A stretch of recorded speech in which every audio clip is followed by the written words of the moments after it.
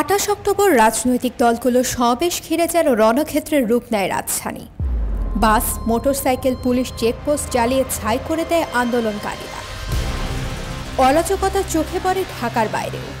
উনত্রিশ অক্টোবর সকালেও রাস্তায় রাস্তায় পড়ে থাকা কাজ লাঠি, ইট পাটকেল আর কালো ছাই জানান দেয় রণক্ষেত্রের ভয়াবহতার।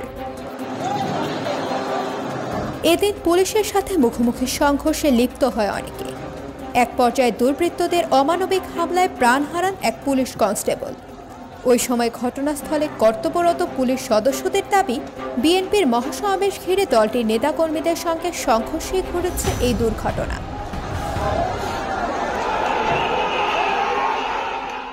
এছাড়াও প্রাণ হারিয়েছেন আরও দুই যুবক। আঠাশ অক্টোবর দিবাগত রাত সাড়ে তিনটার দিকে রাজধানীর ড্যামরায় দাঁড়িয়ে থাকা একটি বাসে আগুন দেয় দুর্বৃত্তরা। সে সময় বাসে ঘুমন্ত অবস্থায় ছিলেন দুই হেলপার। এর মধ্যে দত্ত হয় একজন। আর ঘুমন্ত অবস্থায় আগুনে পুড়ে মৃত্যু হয় আরেক হেলপারে অন্যদিকে একই দিনে রাজধানীর নয়াপল্টনে বিএনপির মহাসমাবেশ চলাকালে পুলিশের সঙ্গে সংঘর্ষের সময় গুলিতে যুবদলের এক নেতা নিহত হয়েছেন বলে দাবি দলটি এছাড়াও এ হামলা পাল্টা হামলায় আহত হয়েছেন বিশ জনের বেশি সাংবাদিক, শতাধিক পুলিশ সদস্য সহ অনেক আন্দোলনকারী। রক্তাক্ত অবস্থায় হাসপাতালে ভর্তি হতে হয় অনেককে, তবে নিরাপত্তা ছিল না সেখানেও। কেননা আঠাশ অক্টোবর বিকেলে বিএনপি জামায়াতের পরিকল্পনায় অগ্নিকাণ্ডের ঘটনা ঘটে রাজারবাগ কেন্দ্রীয় পুলিশ হাসপাতালে। সে সময় হাসপাতালে ভর্তি ছিলেন অনেক আহত আইন শৃঙ্খলা কর্মী। হাসপাতালের গেট ও একাধিক স্থাপনায় হামলা করা সহ পুড়িয়ে দেওয়া হয় দুটি অ্যাম্বুলেন্সও।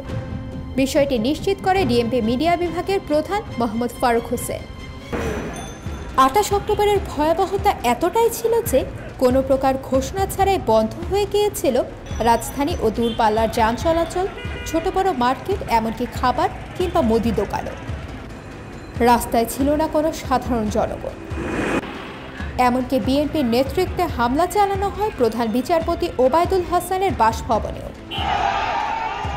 সময়ের সাথে সাথে যেন ভয়ানক হতে থাকে দেশের বাতাস। পরিস্থিতি নিয়ন্ত্রণে পুলিশ র্যাবের পাশাপাশি মোতায়েন করা হয় বিজিবিও। সব মিলিয়ে সমাবেশ যেন রূপ নেয় রণক্ষেত্রে।